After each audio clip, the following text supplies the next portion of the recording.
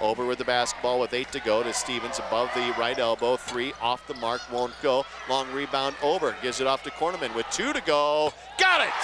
South Dakota State with a three-point shot converted at the horn by Chloe Cornemann. Johnston barking out a offensive set call. Cornemann, right wing three, good! Chloe Cornemann buries a three right in front of the bench. Find eight of 14 shooting beyond the arc. A steal by Cornemann. Cornemann in for the layup. Got it. A good first half by Chloe Cornemann. She was looking for her 7-3 of the game. Rebound South Dakota State. Cornemann to the front court for the Jackrabbits. Wide open three. Cornemann nails it. That is her third three of the season. 35 of 40 from the line. Good defense here by Denver. Three by Cornemann right in front of her bench. Got it. Chloe Cornemann.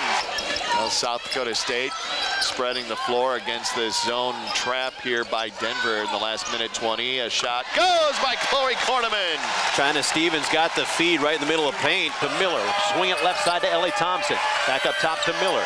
Macy kick right wing. Chloe Cornemann for three. Swish! Chloe Cornemann with a three from the wing.